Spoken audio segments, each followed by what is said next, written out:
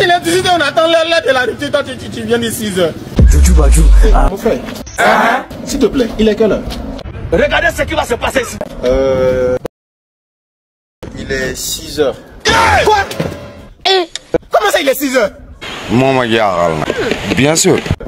euh... Faites faites attention, hein. vous, est 6 heures, faut, faut, faut bien réaliser, c'est la même.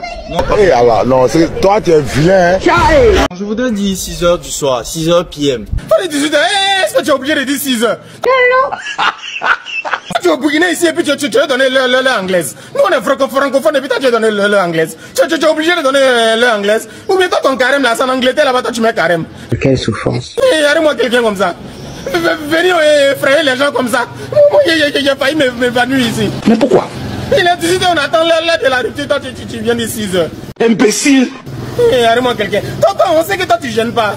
C'est quoi musique Quand on regarde ton visage là, on sait que toi tu gênes pas. Un Boudakourou comme ça. Faut venir encore tcha tcha tcha tcha dire 6 heures. Quelle souffrance. Eh, mon ami, fais attention avec tes heures anglaises là. hein.